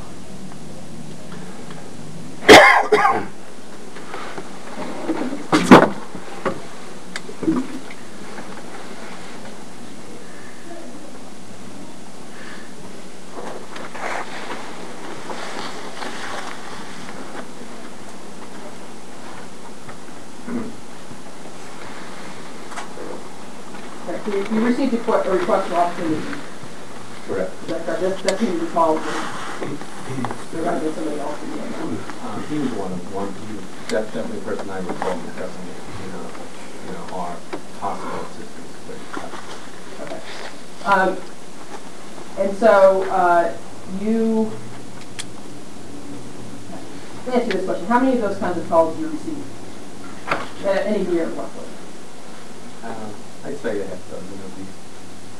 So around, you receive around six calls a year from the drug task force? No, no, I'm saying all of these. From the drug, the New Hampshire Drug Task Force, how many of those calls do you receive in a year? Um, that's the first one I had ever received from the drug task force. The first one you've ever received? The first one. And you're not aware of any, if you're not aware, it's fine, of any, uh, anyone else in your, in your division receiving one of those calls? From the drug task force? Correct. Um, not. And I, I surveillance.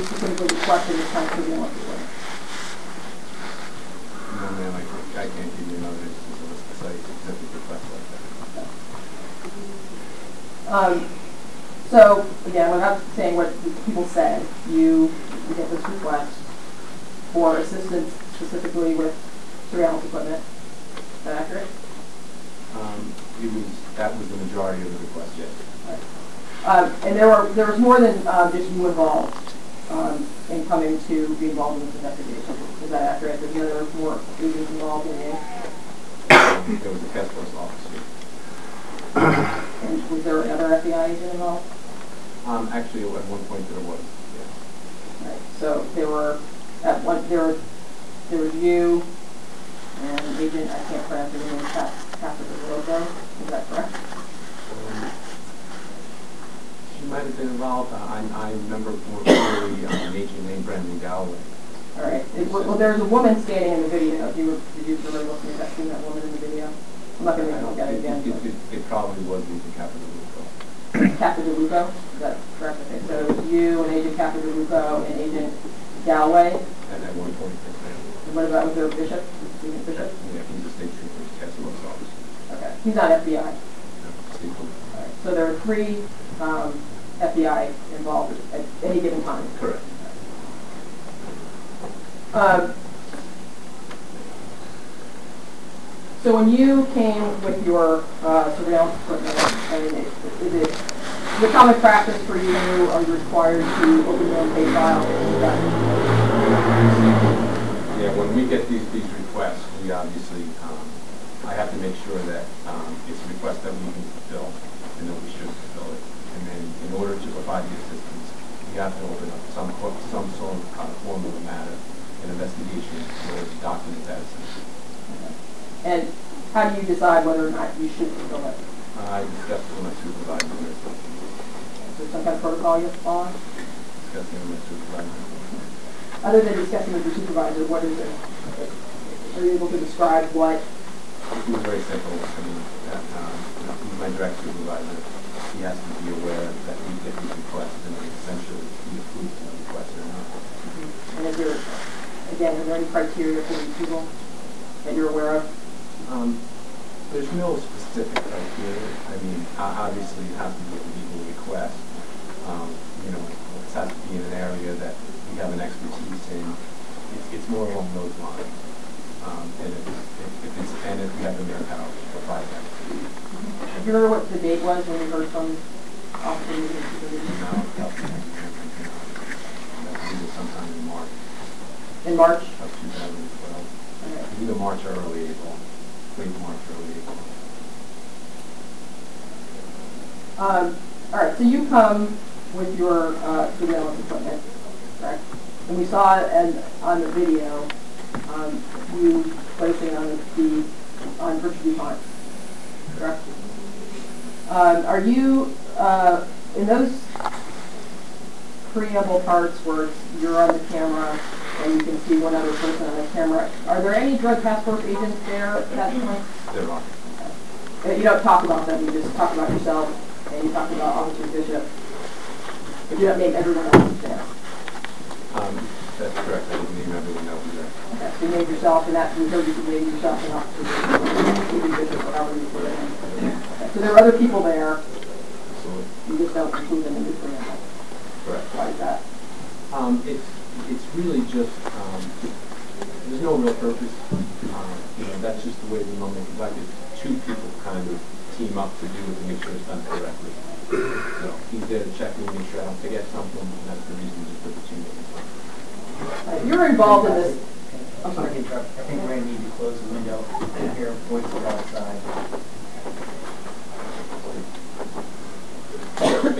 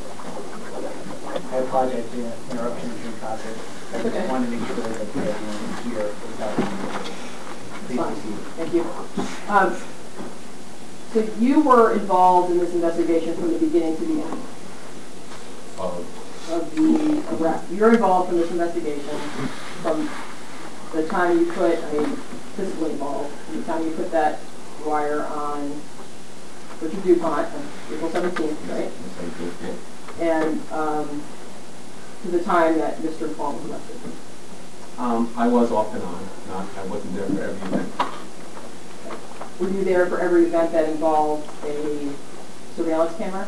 No, ma'am. Okay, so, so are there other surveillance videos that exist that don't, aren't, don't involve your camera?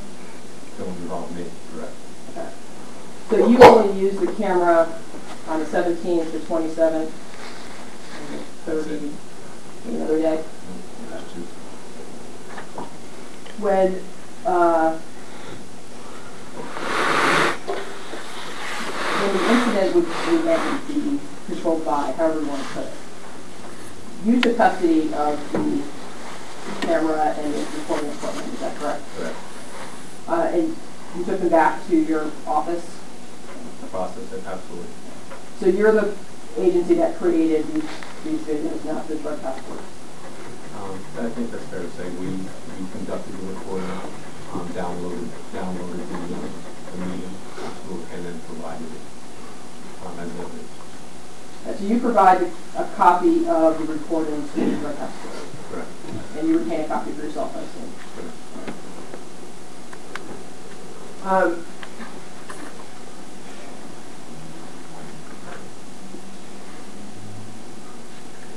were you present when Mr. Paul was arrested? I was not at his arrest. Were you present after his arrest? I, I was And, and where was that? at the Keene Police Department. Did you, um, speak with him? Did. Was that recorded? It was not, why wasn't that recorded? it's not our policy. Uh, I'm not allowed to record. You're not allowed to record interviews. Why is that? It's, a- it's against our policy. What, what's the policy? That we're not allowed to record it. Right, So the policy of what, of the FBI? Is you're not allowed to record interviews? Um, but you're allowed to record, I, I guess, you're allowed to record with some kind of federal authorization? Well, in this case, there had to be, you, I assume you understand that there had to be a, a, uh, if there had to be an authorization from the Attorney General's office in order to record, in order to make this recording. The Attorney General Drug Task Force had to get authorization on their side, and I get separate authorization to do it on, from the, the FBI. So you can get authorization to make a recording. That's correct. So you can, if you got authorization to make a recording of that conversation, you could have, is that, you could have gotten authorization Or, to record your interview with Mr. Paul. um, I'm, I might have been able to, yeah, Okay, did you attempt to do that? I did not. I know it could be against policy. You, is it against policy to record or is it policy to ask to record? As a rule, we do not record interviews. I know that from my training.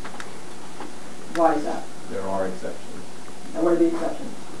Um, The policy's kind of changed over the years, all right, or it's, it's, it's still evolving. Um, But as a general rule, we do not record interviews, and I knew that to be the case. Um, that's why the decision was made not to record the interview. Um, all right, so the policy is evolving, is it written down somewhere? I'm sure it is, Have you seen it? uh, recently, So do you know the last time it evolved, when that was? I I don't know when it was revised. Okay. We were very quickly. So it's not, this isn't something that you get, a- I, I guess, and I'm not trying to trick you, I mean, this isn't something that you get a handbook for, and there's a, you know, directive one point two A that says you shall not record interviews. I might have twenty years ago in my initial training, Right. and that's where I think from, that, that rule. Okay, so that, so, that might have been the rule twenty years ago. It was the rule. It was the rule, absolutely. But you're not aware whether or not that actually is the rule now. I, I know it still be the rule. Um, I know there are exceptions when you have recorded interviews, but as a general rule, we don't do that. And as a, to err on the side of, to be within the policy, um, one, you have to get approval to do it, um, so you have to have the time to do that. And two, I just knew that it was safer not to record Why was it safer not to record to avoid a possible violation of the policy I know to be in. Okay, but you weren't alone in the room, correct? I was not. There was another officer there. Um, Did he ask you to report it? I remember having a conversation about it, and I brought up the issue, what, how it could be an issue for me, how it is an issue for me to record. So it agreed upon not to record. So I'm just going to make sure I understand. Your understanding of the FBI policy is that you are not allowed to report any interviews. General rule. But there are exceptions to the rule. Correct. And what are the exceptions? I've never tried to exercise them. Um, I, it, it's more of gaining approval and going through that approval process. Right? That's, that's, that's one of the elements of it. So yeah, you obviously have to have the time to get that approval. That means I have to then reach out to my supervisor and maybe others. You don't always have the time to do that. And, and, and quite honestly, I wasn't interested in recording the interview. So I never went down that road. I knew as general we didn't record interviews. I didn't want to record interviews. I didn't seek the exception. Okay, because you didn't want to, Correct. because you didn't want anyone to listen to it? Or, No, ma'am? okay, well, um, what did you talk to him about? Uh, Let me ask, let me ask you this question. Did you take any notes during the interview?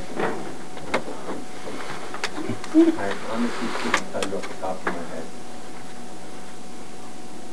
I, I, I don't, I don't recall making any notes. If I did, it would be in my file. You have your file with you? Right, so you don't remember taking any notes? I do not. Or did you practice to take notes? Um, that varies.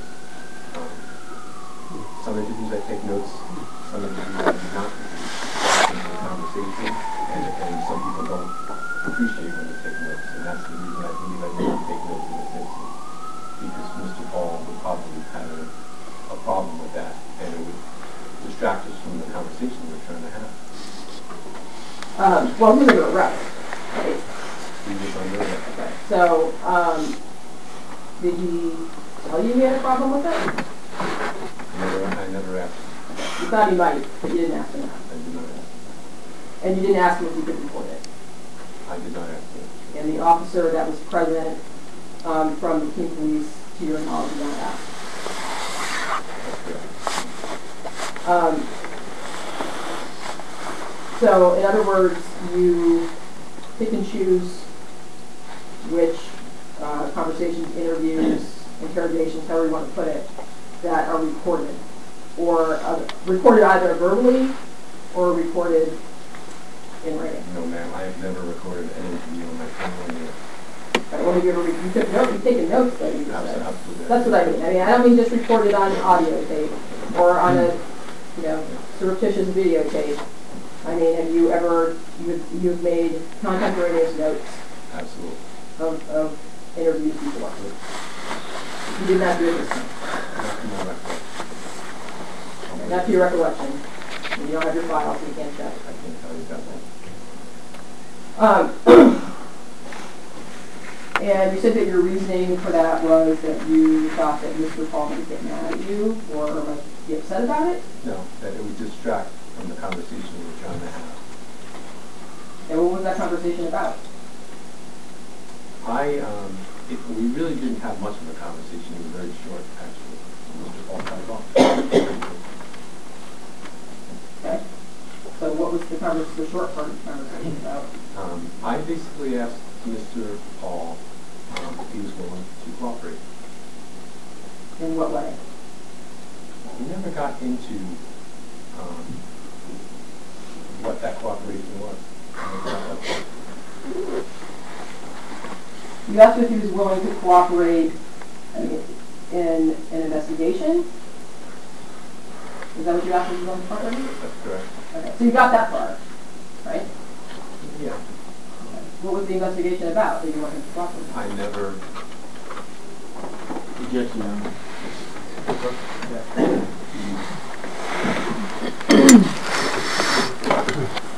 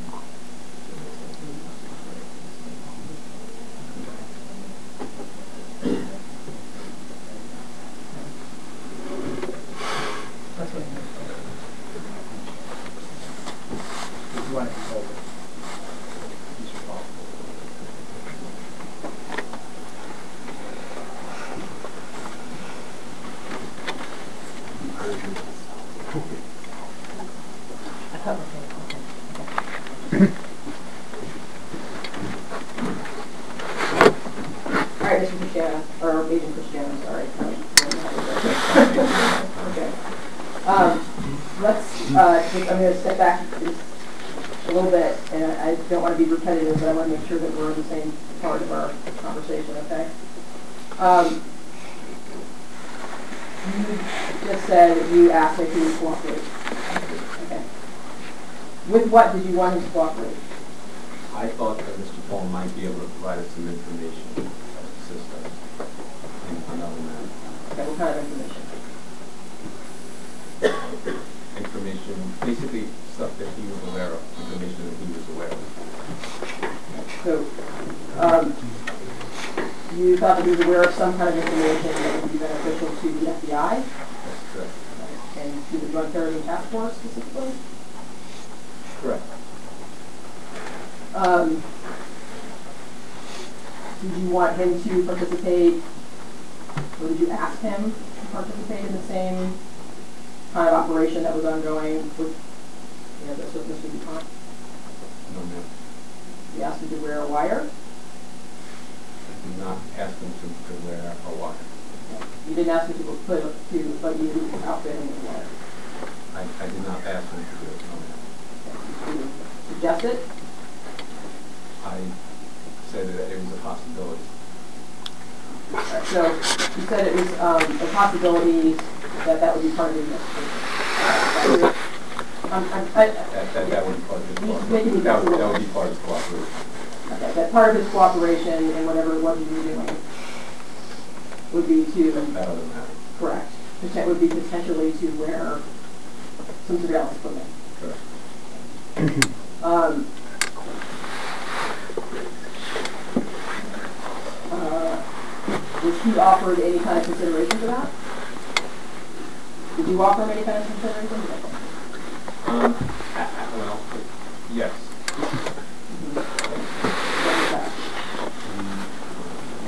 We told him that we could help him with the matter that he was arrested for. Um, you told me to help him with the matter that he was arrested for that day. This matter. Yeah, absolutely. Essentially. Yep. Yep.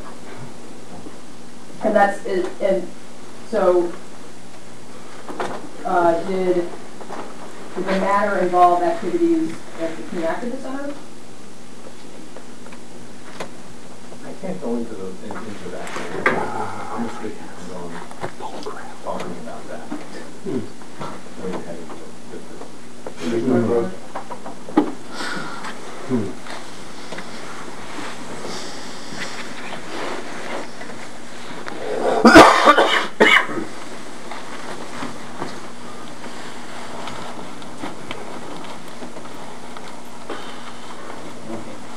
ordinarily, ordinarily you would not have the opportunity to listen in simply because the. But you have, see, I'm sure that, that if council wants to confer after the conference, maybe an opportunity to do that.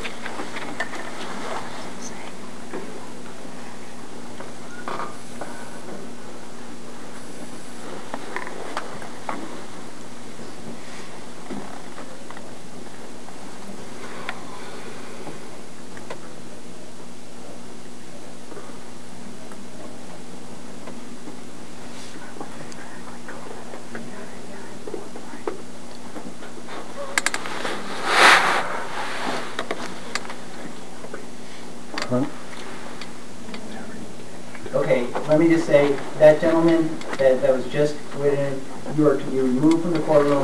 You are not permitted back in the courtroom, uh, for any. Perfectly, perfect, great, thank you. Good day.